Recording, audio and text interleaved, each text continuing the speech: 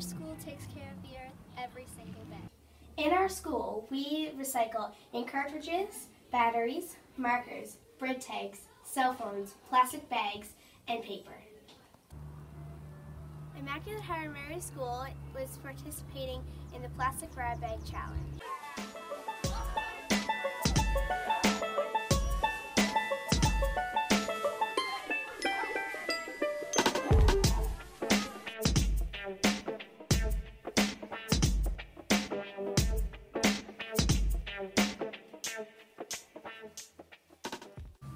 Our class counted 20,058 bags.